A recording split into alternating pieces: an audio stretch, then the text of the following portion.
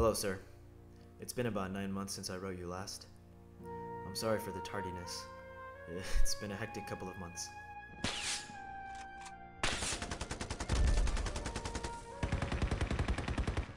Those moments you've always talked to me about? You know, about staying strong, staying focused, not letting the drama of war remove me from the reality of the situation.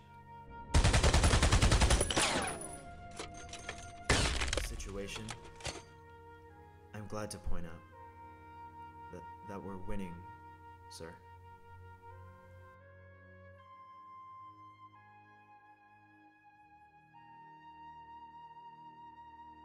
I hope everyone at home is doing well.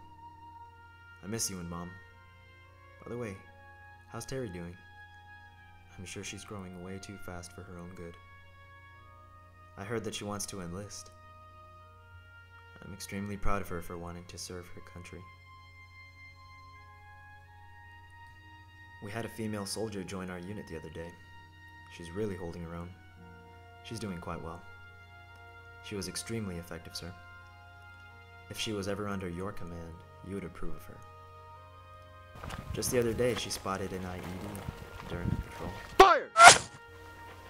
If she can perform well, I'm sure Terry can. She'll be as strong as I am. I'll be home very soon, sir. I'm being the best soldier I can possibly be. You taught me well. I'm committed to the cause, righting off the wrong, fighting for my family, for my country, for myself.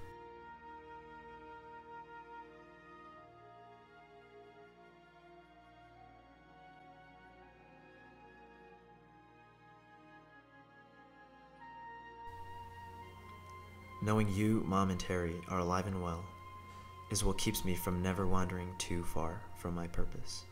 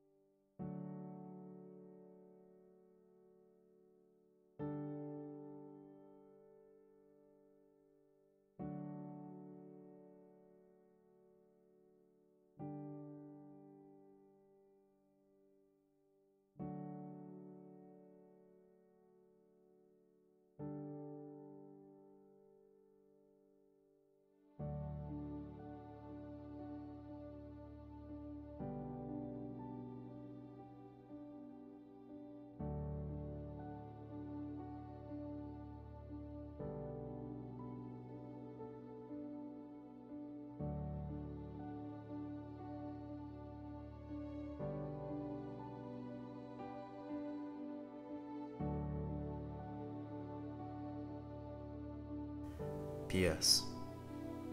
I love you, Dad. I know you never wanted me to say it, because you've always said it weakens us as soldiers. But I do.